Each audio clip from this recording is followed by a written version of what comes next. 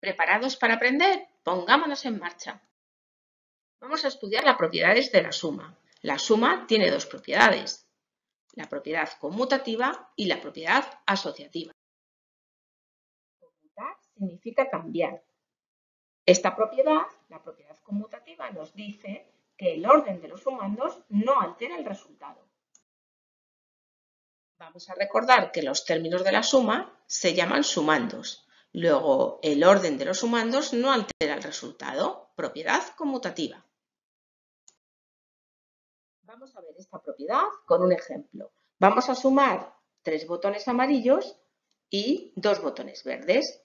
Nos dará igual sumar primero los tres botones amarillos y luego los dos verdes que primero los dos verdes y después los tres amarillos, porque su resultado es el mismo, 5.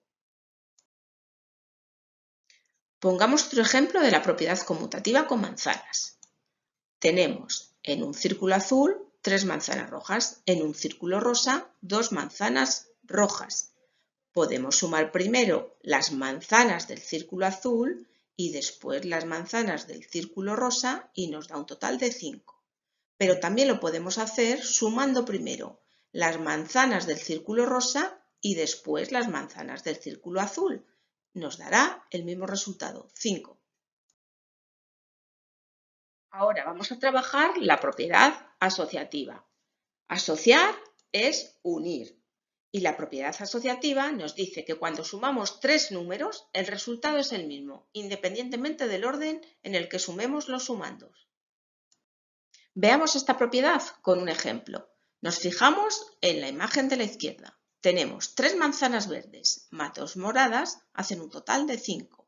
Si las sumamos a las cuatro amarillas, el total de manzanas en esa imagen son nueve. Ahora nos fijamos en la derecha. En la derecha, si sumamos las manzanas amarillas más las dos moradas, hacen un total de seis, que unidas a las tres verdes hacen un total de nueve manzanas. En ambos casos, Hemos sumado las manzanas de distinta manera, pero el resultado es el mismo, 9.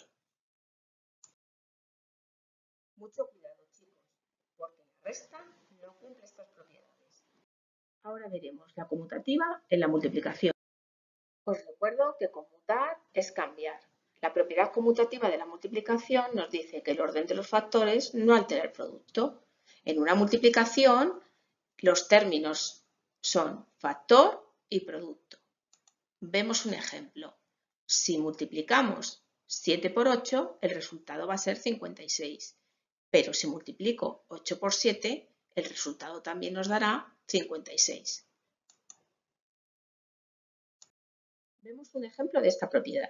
Si observamos la imagen de la izquierda, vemos que hay 5 grupos y en cada grupo 3 manzanas podemos hacer la multiplicación de 5 por 3 y nos daría un resultado de 15.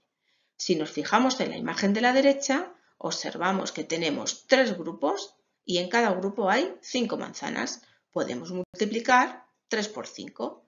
El resultado en ambos casos es el mismo, 15. Espero que os haya ayudado este vídeo. Adiós chicos.